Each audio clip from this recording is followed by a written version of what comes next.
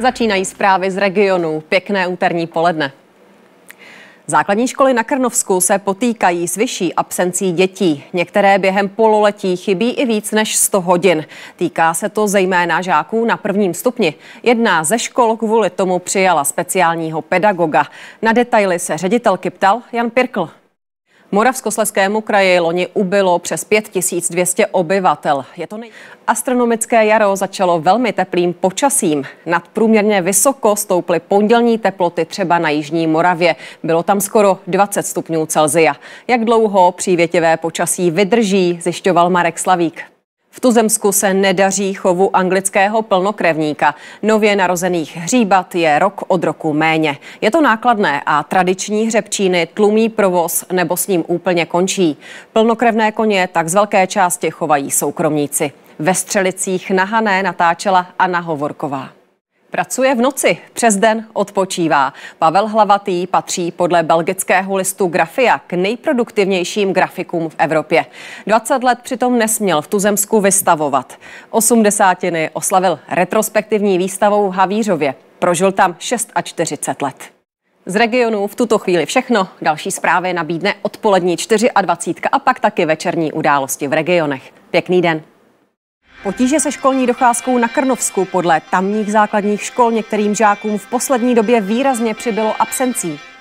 Úterý v krajích. Přehledně, detailně. Dobrý večer. Rostoucí absence školáků na Krnovsku. Problém, se kterým se tamní školy snaží hnout. Některé děti chybí během pololetí v součtu i víc než 100 vyučovacích hodin.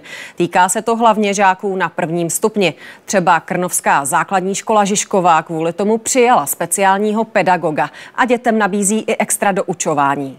A téma doplní Luboš Zajíc, prezident Asociace ředitelů základních škol. Přeju dobrý večer. Kterých regionů nebo kterých lokalit, ve kterých regionech se problém týká ještě?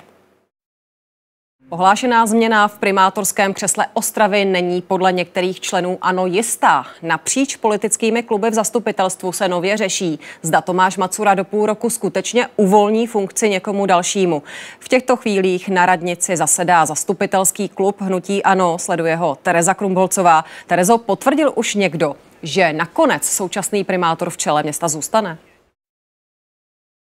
Na místo ústavní jen ambulantní psychiatrická léčba pro mladíka, který před dvěma lety připravoval bombový útok na velvyslanec 30 let vězení, případně doživotí. Takový trest navrhuje státní v Tuzemsku se nedaří chovu anglického plnokrevníka. Nově narozených hříbat je rok od roku méně. Je to nákladné a tradiční hřebčíny tlumí provoz nebo s ním úplně končí. Přibývá koní importovaných ze zahraničí. Minulá dostihová sezóna přitom ukázala, že jim čeští odchovanci dokáží konkurovat. Další motocykl zrestaurovaný v dílně Vysoké školy Báňské technické univerzity Ostrava. Stroj ČZ 150C náleží do sbírky Muzea Novojičínska. Původně ale patřil akademickému sochaři a sběrateli historických motocyklů Miroslavu Rybičkovi. Ten svou kolekci daroval Moravskosleskému kraji. Zvířata jako pacienti fyzioterapeuta. Moravskosleskému kraji loni znovu ubylo obyvatel v součtu přes 5200. Je to nejvíc v Česku. Podle statistiků je teď region čtvrtým nejlednatějším v zemi. Ještě v roce 2009 byl ale na špici. Taky v Olomouckém kraji lidí v loňském roce ubylo, ale jen zhruba o půl tisíce. Zku obyvatel naopak přibylo, projevil se hlavně příchod cizinců. Narozených dětí totiž ubylo poprvé. Laserová nebo magnetická terapie, speciální cvičení i masáž. To vše pro čtyřnohé pacienty. Zvířecí fyzioterapeuti mají čím dál víc práce. Některá zvířata díky jejich péči znovu chodí. Jiným odborníci prodlouží nebo zlepší život.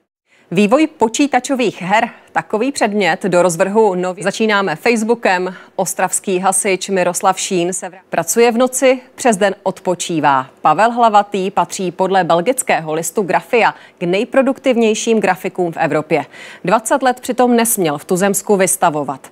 Osmdesátiny oslavil retrospektivní výstavou v Havířově. Prožil tam 46 let. Zemědělcům začala nová sezóna. Letos díky vlídnému počasí o něco dřív než v loni. Na pole, kam vysévají třeba jarní ječmen, zamíříme zítra.